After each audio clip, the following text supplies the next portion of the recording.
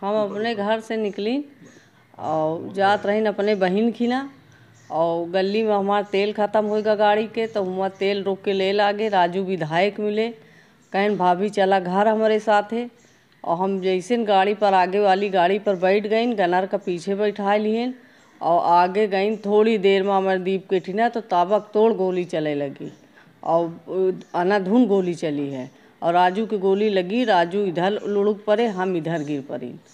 और बहुत धूमन गन के तरफ़ भागे हैं, गोली मार मार। सबको पहचाना है, मगर अभी हम नहीं बता सकते, हमको बहुत डर लगती है।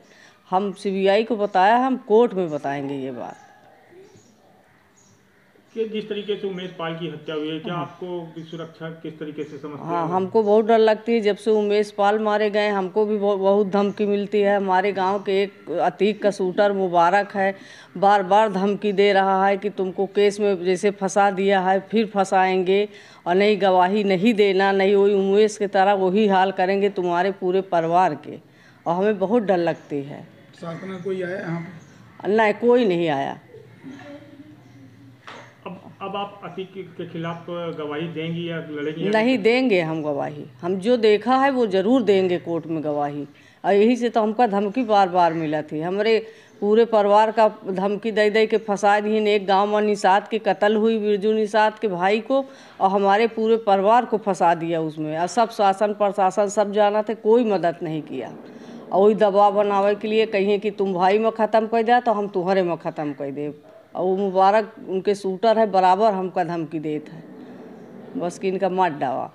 तो मुबारक के खिलाफ आपने थाने में हाँ करेली थाने में हमने लिखाया है रपट हमारे घर पे चढ़ के गोली चलाया हम बच गए नहीं तो हम कमारी न डलते कहा थे जबर भाई मैं तू न करी है तू कमार डूब रहा न देवे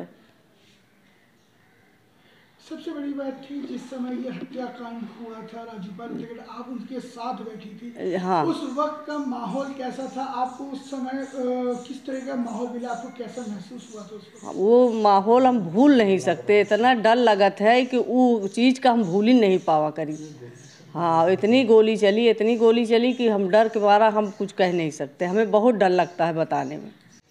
पेपर वाले तो यही कह रहे थे कि जो है पूजा पाल मिल गई है। कई दिन आया है वो।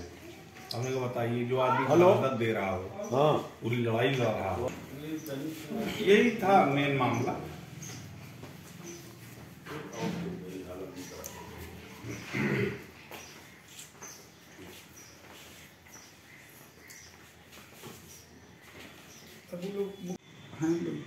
ये रुखसाना है हम सादिक हैं?